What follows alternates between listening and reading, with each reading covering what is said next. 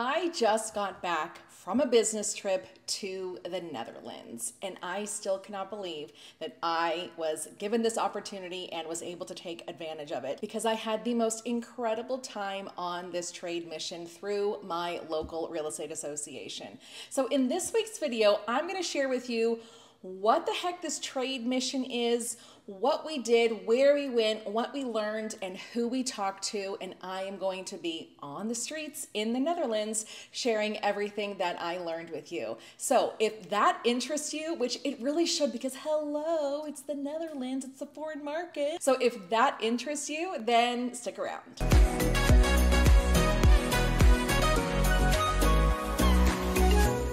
Hey everyone, thanks for tuning in. This is a very different video on my channel that you normally see from me. But I will tell you that you are going to be seeing me hitting the streets of the Netherlands, showing you properties and how much they're worth, and just telling you all about them. So you are going to get some property tours in this video. All right, so let me share with you a little bit of a backstory about how I was there on this business trip. So here in the United States, we have the National Association of Realtors, and as real estate agents, we are members of our local board and of the national board. And the National Association of Realtors has a global ambassador program, and they have five regions that they service. What the National Association of Realtors does is they appoint either a state or a local MLS board to partner with these countries. And I am so lucky that my local board, Metrotex, here in DFW, is the partner association to NVM in the Netherlands. NVM is the largest association in the Netherlands, where I think 75% of all of the properties sold in the Netherlands are sold by an agent that is affiliated with NVM. And NVM, it does stand for something. It, it is it is in Dutch, and please, please, please don't ask me to try to pronounce that. But I'm going to link their website below so you can certainly go and check that out. Being a part of this partnership means that we go on trade missions. And on these missions, we explore business opportunities over in that foreign market. We learn from local brokers, we tour properties, and build relationships with this other country. And that's exactly what we just did for the last few days. We spent three days meeting brokers, touring properties. We went to NVM's headquarters and learned about their market. And the really exciting part as to why we went this week is NVM is celebrating their 125th year in operation, which is an amazing accomplishment. And one of the evenings, they had a fantastic party that we were invited to. I mean, all the food that you can imagine, all the adult beverages that you can imagine. They had live entertainment a very famous Dutch performer was there performing, and it was just a fantastic party. And I can't believe that I didn't get any footage of that party. I mean, I did, but for Instagram, so I did a reel on it. So just follow me on Instagram and you can go check out that reel. But we absolutely had such a great time. And something really exciting happened to NVM when we were there. Now, we did not witness this, but we did hear about it that NVM did receive the royal sermon. Now, what what is that? The royal sermon was introduced by King Louis Napoleon in 1806 and is therefore the oldest royal award in the Netherlands. And it was given to NVM because of their prominent place in the country in their field of expertise and in society. So they were given this award on September 21st, which marks the 125th year in operation, which is just really exciting. So when we were there at the celebration, the um, the symbol of this royal sermon was over the NVM's logo, and it was just it was just really cool to see that and um, and have the brokers around us just really be excited about it because it was just a great accomplishment that their association has earned. Now that you know why we went, in this part of the video, I'm going to highlight and overview what we did each three days that we were there. And I will be boots on the ground in three different cities showing you some properties. All right. So, what the heck did we do and where did we go? We stayed in Amsterdam at the Hyatt Regency Amsterdam, which, by the way, is a beautiful hotel and that breakfast in the morning, to die for. To die for. So if you ever get to Amsterdam, stay at the Hyatt Regency. It was very good and so cute inside. All right, day one. Very exciting. I think I'm going to say that like a lot of times for this video that this is all just going to be very exciting. We are walking through the town right now. We are actually going to be taking a canal ride through the urban development here in Amsterdam and can't wait to learn about the buildings and I'm talking to the brokers here and, and all of that stuff. The brokers met us at our hotel and then we walked because you know in Amsterdam you do a ton of walking. I didn't do any biking because that just scares me. But anyways, so we walked to a couple of different properties. We went inside the Museum Van Loon and I will link that in the description below. Right now I'm in the Museum Van Loon and it is a building that was built in 1672 and it's been, it was a residence, it's been converted into a museum. So I am actually on like the basement floor and you can really see behind me how short these ceilings are. And out this window, you see a little bit of the courtyard. So you get some sunlight, but not, but not a ton. But just to show you the example of what basement units may look like compared to second or third floor units. And we learned about the properties, talked with the brokers along our walking tour of the city a little bit. So trying to film on the go while we're on a tour is proving to be a little bit difficult. But um, that building that I just showed you there, we learned a little bit about it. It was actually just recently renovated, the, the entire facade of the building. Kind of think of it like a condo. There is an HOA on there and they own the entire building underneath there. They own the parking garage, those two double green doors. That's where the cars will go in and out. And one of the units is for sale for 1.3 million euros. Ooh! And it's overlooking the canal. Gorgeous. All right, so how do you guys get furniture up here? At the very tops of the buildings, a lot of time there's gonna be a hook at the top. The structure of that hook needs to be maintained by the homeowners association. And sometimes it is and sometimes it isn't. So you can hire a moving company to hook the stuff up and load your couch up, but they have to have like a certificate showing that that hook has been maintained and it's not going to drop your stuff, but it's kind of like a pulley system. As I was filming, you could see, so there was some rope right there and a man was kind of at that top window that's open and you can kind of see that rope right there with the hooks, but just at the very top is where you see where you see these hooks. Or you can try to get them up these narrow stairs, your furniture, or sometimes if you can, you hire a moving company and the moving company has almost like like like an elevator built into the vehicle that they can bring your furniture upstairs. From there, we went on a canal boat ride through the city center and we went and had lunch at a fantastic restaurant. And I will also link that in the description below. And after that point, we went to our hotel and had the rest of the evenings to ourselves. Along our walk today, I was actually speaking with one of the local brokers and I learned a lot about the units that we see here.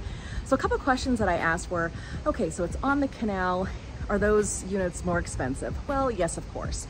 So these buildings are really long and it, they are gonna have some units on the back side. So of course, the units on the back side don't have the canal view. They aren't gonna be as expensive. And sometimes behind there, it's just buildings and there's maybe a balcony, but sometimes you get really lucky and there is going to be a garden area or maybe a really small common area.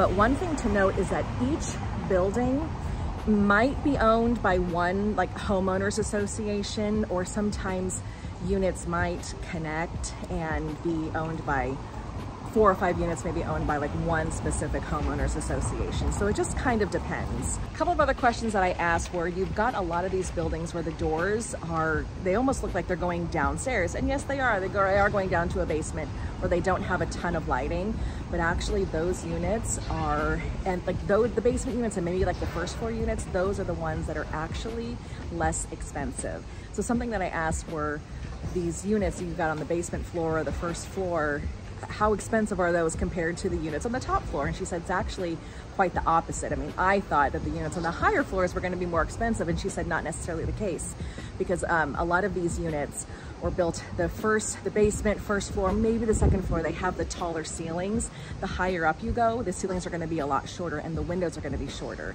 So when these were built hundreds of years ago and people had money, they also had the staff that lived with them. So the staff lived in the higher floors with the smaller windows and the shorter ceilings.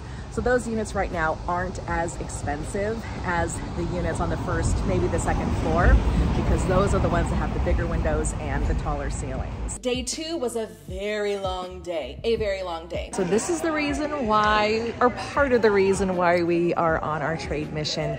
We are at the NVM offices here in Utrecht. I don't think I'm pronouncing that correctly, but it's just about maybe 45 minutes outside of Amsterdam but this is the Netherlands, basically their real estate association. It's a gorgeous office, very modern. Today we're going to walk around, tour the offices, meet with some of the people who hold like higher positions here within the association and just get to know people, talk about their business. We had a sit down meeting with them, presentation where we learned about their market and they learned about our market. And just a little heads up for you, their real estate market was very, very similar to our market. It was almost like we wrote their presentation and they wrote our presentation like especially during the pandemic. They kind of thought the same thing that we did that, oh no, real estate prices are going to go down, nobody's going to be buying any houses, but then their interest rates went down and more buyers hit the market. And then the prices of homes skyrocketed and people were paying thousands of dollars over list price for the price of their house. And when it came to new construction they did not have a lot of materials and supplies like we did. They were very slow to get them. So it was just very very similar. Right now their market seems to be pretty similar as ours too. Homes aren't flying off the market super fast. They are sitting for a little bit. You're seeing a little bit more price reductions. Interest rates are higher which makes it tough for for some buyers to enter the market. Again, I was like, who who wrote this presentation? Us or you? very similar markets, which was really interesting to know. After we toured their offices, we did a city tour of the city, and it is so absolutely cute. So cute. learned a lot of history there. And then from there, we went to NVM celebration that evening, and we danced and we sang and had a great time. All right, the next day, this whole trip was go, go, go.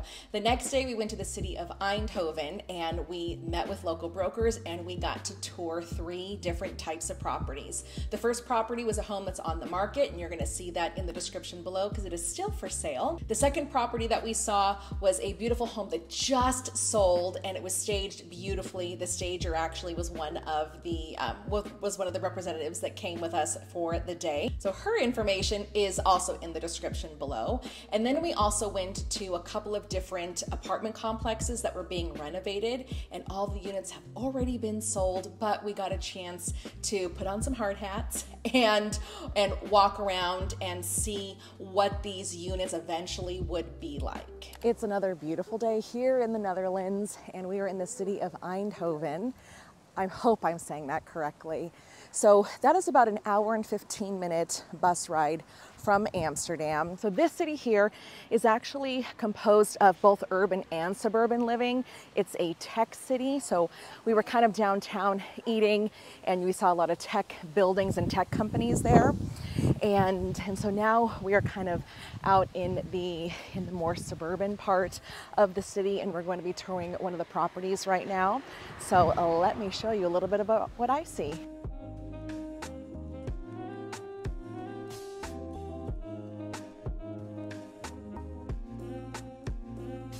So the home that we are about to walk into, well, I've already walked through it, but it's um, it is about 1,800 square feet. It was built in 1997.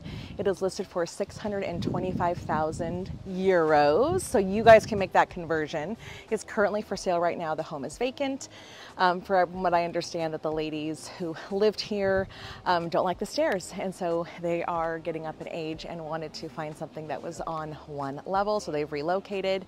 So you've got three levels here. You've got a one car garage with the the, kitchen and the living area on the first floor. Second floor is going to have a, um, a bedroom and the bathroom and kind of like a little landing area. And then the top floor is going to have another bedroom with a ton of natural light, bathroom, and a fantastic balcony that you wouldn't even expect from this property.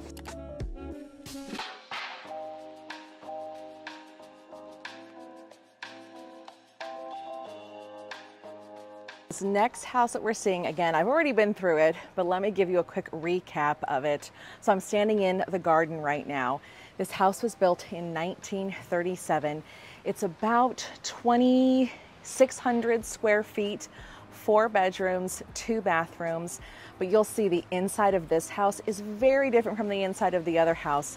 It was actually bought by an investor and they had an interior designer come in and completely renovate the interior on the inside. Um, actually, a home stager who home staged, who staged this home is actually the one that was showing us the, the home. And it has recently sold at 1.25 million euro. And let me just tell you, when I walked in, my, my jaw just hit the floor. The flooring is beautiful, the materials are beautiful, and what they've done on, on a lot of the, the, the walls and the texture of the walls and the wallpaper is just, it's really something to see. So what do you think of it?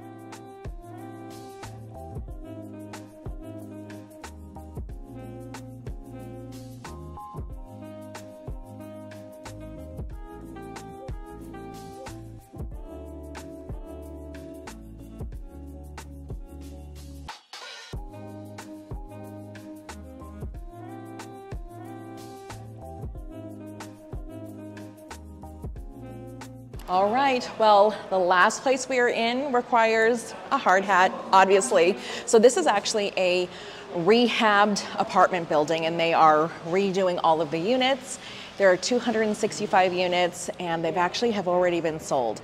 So this apartment that I'm in right now is actually really, really long. You walk in on the left-hand side, about a half bath is there. Walk all the way down, you're gonna see three bedrooms and a bathroom.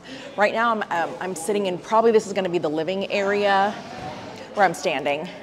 And then behind me there is a covered patio, and right behind that wall is the kitchen with the kitchen, like as you're doing dishes and cooking, you're gonna have this nice view of the canal right here. Of course, all that construction won't be there. but with 265 units, all of them are sold. They've all been sold. They're either being sold to uh, primary homeowners or they're being sold as rental units. Um, I don't know the square footage. Um, I need to ask, but but the real estate agent here said that she sold this unit for 500,000 euros, and it should be done here in the next couple of months. But the whole project is looking to take um, about a year. So, all right, let's go look around so you can see what I see.